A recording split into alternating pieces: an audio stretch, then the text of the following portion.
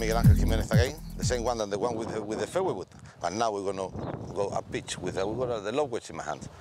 And uh, the main thing with this club, be aware, the center of your chest always has to be in front of the ball. And obviously reading, because the reading is the secret word for golf. But now, we're going to go to the ball, we're going to make a little pitch, we're going to say like uh, 30, 40 meters.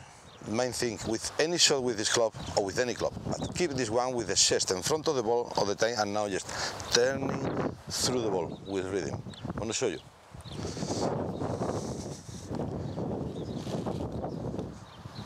Obviously, you get the target, get the point where you want to pitch. This is the main thing.